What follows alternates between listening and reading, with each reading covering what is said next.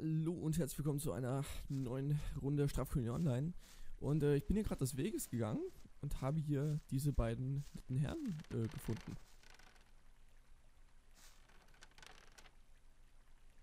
Ja, mal gucken, was die jetzt hier wollen.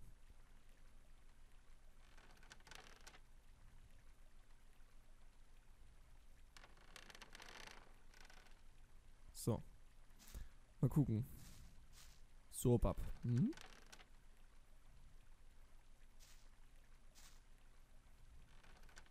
Ja, muster mich mal, aber was geht denn jetzt hier ab?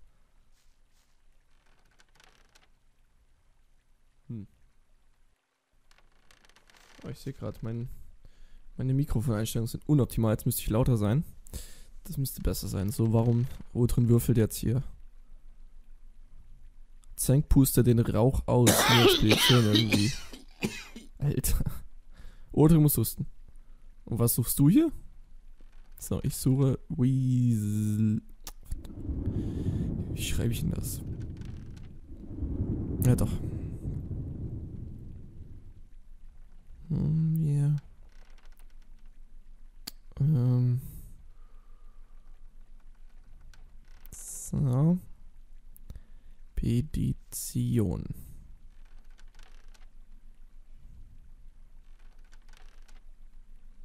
Kann ich durch. Ja, mal gucken. Äh, ob die mich jetzt hier lassen. Zeng kennt mich ja aber, Odrin ja eigentlich auch. Das sind Minenvorarbeiter aus dem freien Lager. Äh, aus dem freien Lager. Aus der freien Mine. Sollte eigentlich kein Problem sein. Und da gehst du genau hierher, wirf den Stängel zu Boden und tritt ihn aus.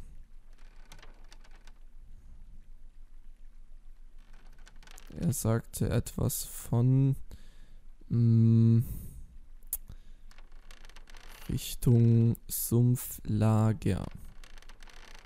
Und irgend irgendeine Goblin-Höhle. Das hier ist doch eine mal gewesen.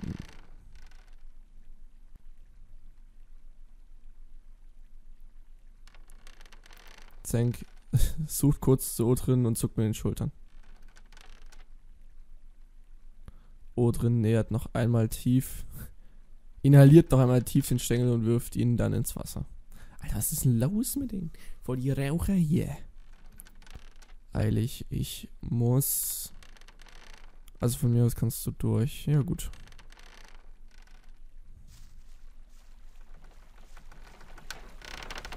So. Wer steht jetzt hier noch? Miren und wer ist denn das? Hammer war das doch genau. Miren.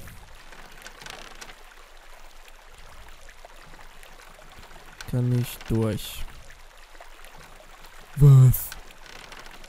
Voll pisst, ey. Bester Stimme. Verdammt, jetzt habe ich wahrscheinlich gerade übersteuert, sorry. Gut. Ja, mir egal. Weasel ruft. Als einst die Barriere schaffen würde, geriet sie außer Kontrolle und wurde größer, als die, als dies, mhm, als dies von den Magiern erwünscht war. Sowas ist da. so. Scheint wohl gerade so eine Art Expertenvortrag über die Barriere stattzufinden. Ich stelle mich mal hier ein bisschen näher ran, damit Weasel weiß, dass ich da bin.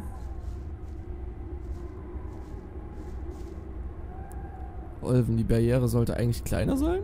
Erstaunt. Wiesel ruft. Diesem Rätsel möchten wir nachgehen, wie schon so viele zuvor. Zwinkert Weasel.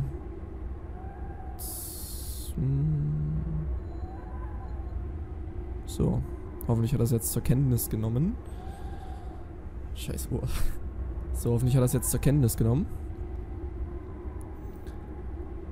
Denn Weasel und ich stehen im SKUV ein bisschen in Kontakt.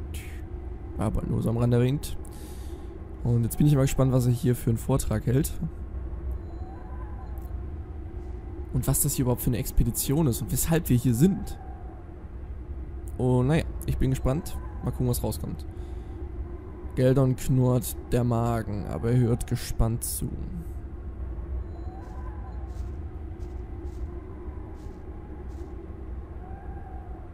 Mi drängelt sich in die erste Reihe, um eine bessere Sicht auf den Re Sprecher zu haben. Weasel ruft. Doch eine, nickt sowas zu, doch einige neue Erkenntnisse bringen uns her. Weasel ruft. Es geht, wie so oft, um das magische Erz. Okay. Das, das würde, also wenn es um Erz geht, würde das hier die eine, einige Schürfe hier erklären. So, machen wir hier einen Guard. Olaf, ich habe fünf Erz. Was für ein Kunde, Alter. Ich bezweifle, dass seine fünf magischen Erz uns hier aus der Barriere rausbringen, denn ich schätze mal, darum geht's hier nämlich. Die Freiheit. Aber wir hören mal gespannt weiter zu. Weasel ruft, ich benötige eine großflächige Freilegung der Erzadern in diesen Höhlen.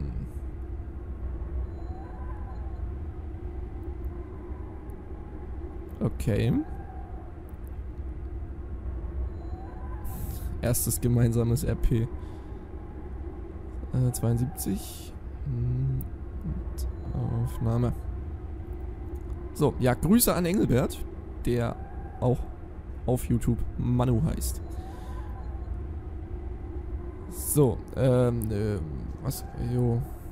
Wieso ruft, bevor die Frage aufkommt, weshalb ich nicht jedes Experiment in einer neuen Mine durchführe.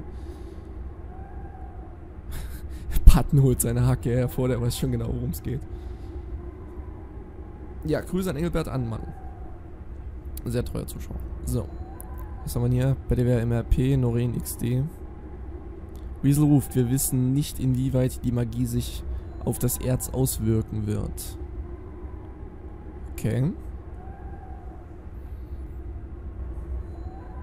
Magie, Erz, Barriere. Hm. Ich versuche das jetzt hier gerade noch zu einem logischen Zusammenhang zu kriegen, aber irgendwie... Naja, Weasel wird es bestimmt gleich irgendwie sinnvoll erläutern. Weasel ruft gut möglich, dass ihr danach krampfhaft am Boden liegen könntet vor Schmerzen. Kaius rollt mit den Augen.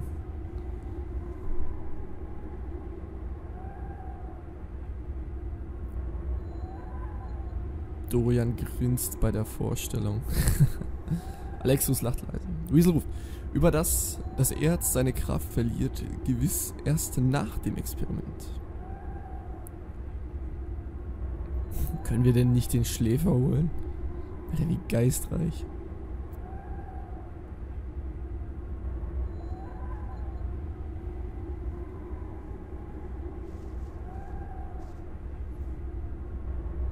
Was ein Schläfer?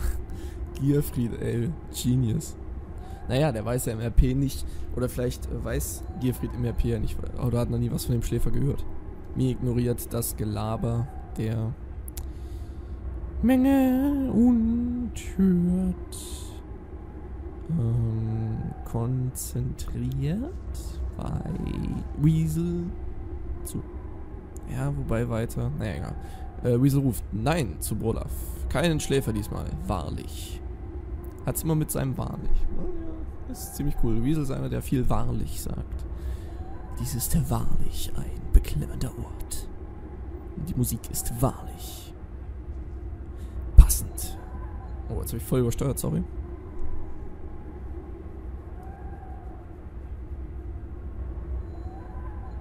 So.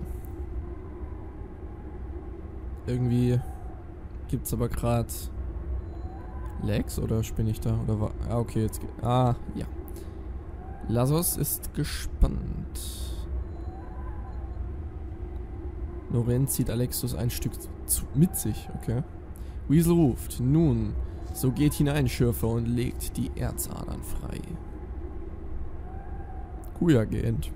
Mi greift zu seiner Spitzhacke. Gott, was für Lags, Alter. Diese Lags. Meine Nachricht hat mindestens 3-4 Sekunden gebraucht. So, jetzt bin ich im Stand. Für die Freiheit. wette, jetzt kommt gleich irgend so ein, so, ein, so ein Genius, der fragt, wie viel dabei rausspringt oder so ein Dreck.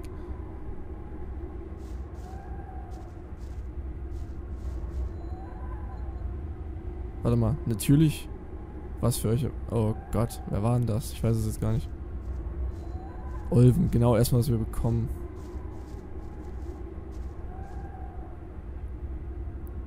Freiheit. Vielleicht.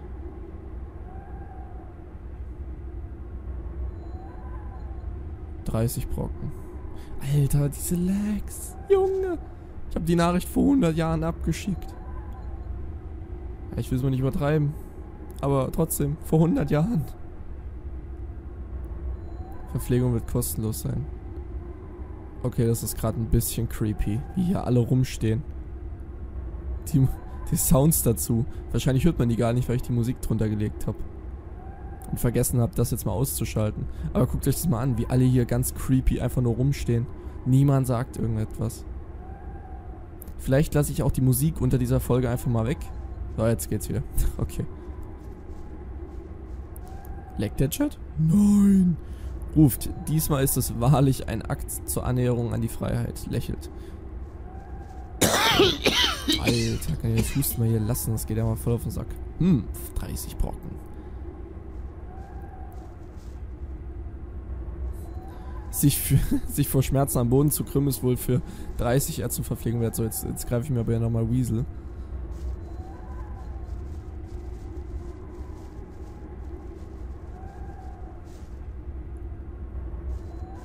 So.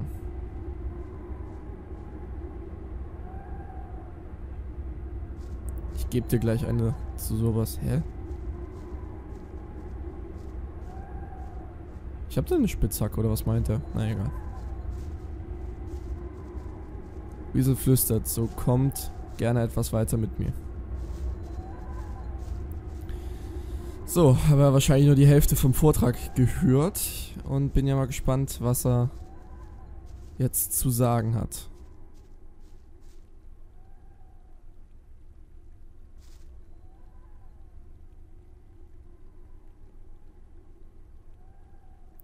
Der Weasel. Der Chor Weasel. So. Ich hoffe mal, dass der Typ der Weasel ausspielt. Grüße. Äh, im, nach dem Reset auch wieder in den Sumpf gehen wird. Alexus verlassen zu Relog. Denn ich habe es ja schon erzählt, ich werde ja nach dem Relog wieder in den Sumpf gehen mit meinem Hauptchar sozusagen und auch dort aufnehmen und so weiter. Und äh, nebenher werde ich aber noch jemanden spielen, den ich äh, geheim spiele. Im, ja, mal gucken, altes oder neues Lager. Muss ich mal sehen. Vielleicht im alten Lager, mal gucken. Aber auf jeden Fall, einen werde ich auf jeden Fall als mein Main-Char nehmen den ich auch am meisten ausspielen werde und saß im Sumpf. Äh, Weasel flüstert, nun, ich studierte die Erzvorkommen und mir fiel auf, dass am Rande der Barriere die Erzvorkommen die Erzvorkommen einen Moment. Mi nickt.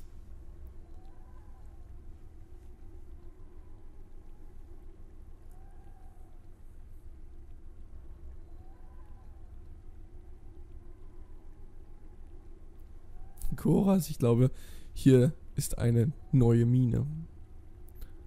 Weasel ruft. Schützt bitte die Schürfer, die Goblins sind nicht zu unterschätzen.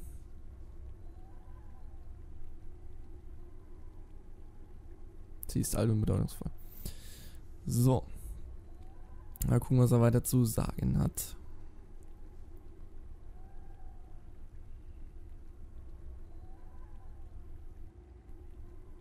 Ich könnte eigentlich auch mal irgendwann anfangen, die Grafikeinstellungen im Hauptspiel hochzuschrauben. So. Nun. Dafür hat er so lange gebraucht. Norene. Äh, nicht Norene, Merin. Ah, das war ordentlich hinsetzen. Ach so.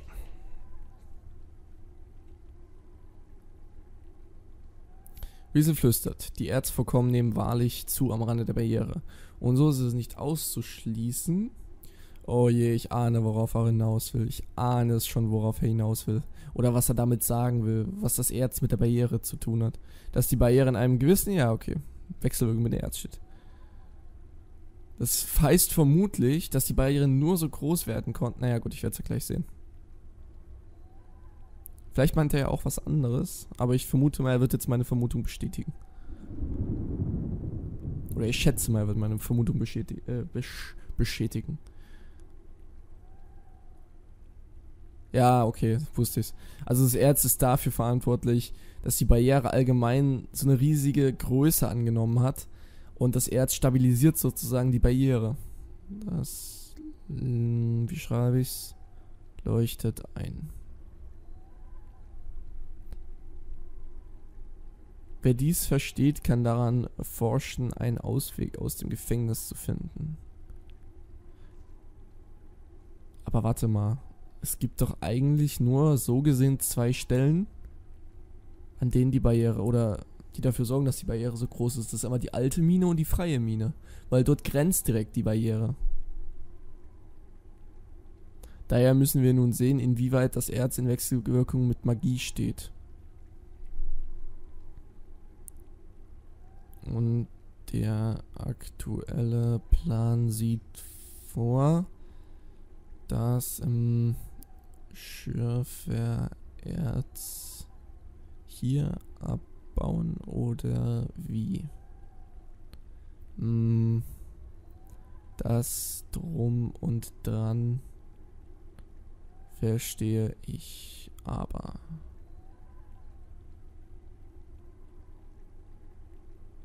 Was können wir hier schaffen, um an unsere Freiheit zu kommen?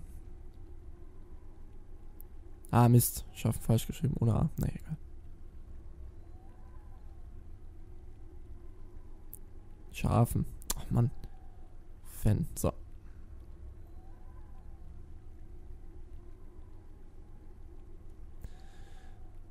Gut. Jetzt bin ich aber gespannt. Weil hier ist ja eigentlich so ziemlich der Mittelteil der Barriere. Nun, wie erwähnt, ich weiß nicht, um was das Ausmaß. Ah, okay. Ja, weil eigentlich ist ja hier so ziemlich mit die Mitte der Kolonie.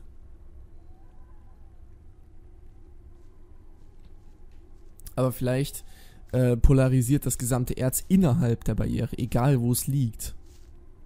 Das gesamte Erz innerhalb der Barriere pol polarisiert vielleicht die Barriere so groß.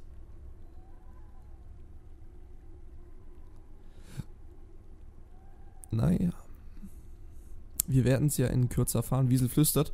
Und so ist es besser, hier dieses Experiment durchzuführen, anstatt die Mine des neuen Lagers zu zerlegen. ich wäre ja dafür. ich wäre ja dafür, ähm, die Mine des alten Lagers zu zerlegen. Nein, Spaß. Wiesel flüstert, sollten wir dort etwas zunichte machen, aus Versehen wäre dies fatal. Fatal. Dies wäre fatal. Na dann.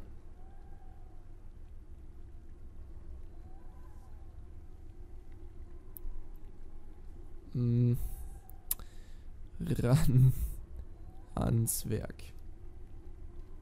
Meme. Naja, wobei.